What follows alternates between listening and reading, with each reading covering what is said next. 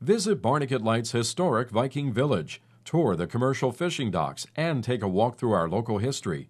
The tiny shacks of this quaint 80 year old fishing village have been turned into shops with something for everyone clothing for the whole family, antiques and collectibles, jewelry, candy, toys, and seafood, of course.